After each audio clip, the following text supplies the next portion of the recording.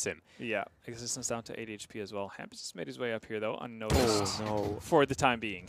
Yeah, I think he was just about to make it unnoticed, and then MSL spotted him jumping to the left, so incredibly unfortunate there. Scream at least gets one kill back, and Gaming Legion still stand a chance, although if MSL had shot his teammate down, that definitely would have helped, but yeah. he will look back towards Connector, gets one kill onto existence, although Scream again is the equalizer, or at least the man keeping it within touching distance, as he will get another headshot.